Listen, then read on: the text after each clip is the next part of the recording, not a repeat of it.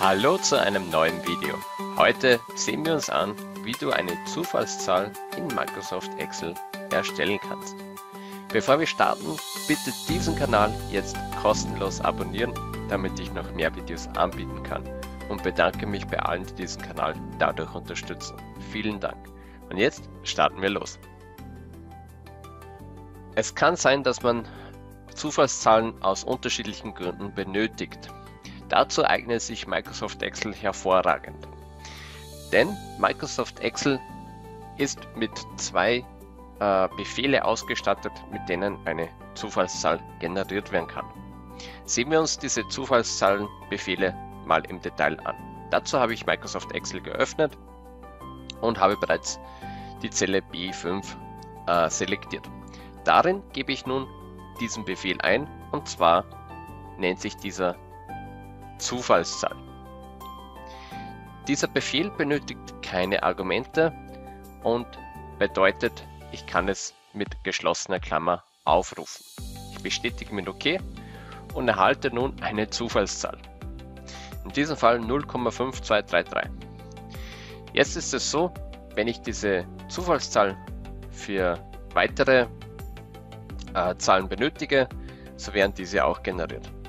Es kann aber sein, und das ist oftmals der Fall, dass man eine Zufallszahl benötigt in einem gewissen Bereich. Das bedeutet, für diesen Fall gibt es eine weitere Funktion, die Microsoft Excel anbietet.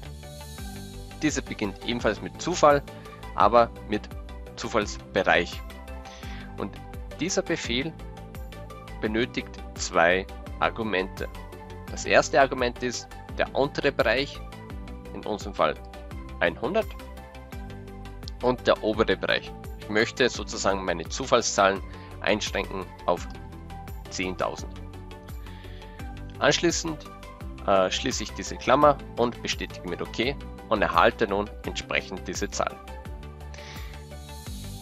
Wichtiger Hinweis, ähm, diese Zahlen werden bei jeder sozusagen Aktualisierung neu generiert. Möchte man sozusagen diese Zufallszahl ähm, statisch oder äh, sichern, dann am besten die Zelle entsprechend markieren und wieder einfügen, aber mit dem Zusatz nur Werte einfügen und erhalte dann entsprechend die Zufallszahlen, in diesem Fall in der Zelle äh, C5, den Wert, in den anderen Bereichen ist noch die Funktion hinterlegt. Wie ihr seht, könnt ihr damit beliebige Zufallszahlen in Microsoft Excel generieren und falls du Fragen dazu hast, hinterlass mir einfach einen Kommentar.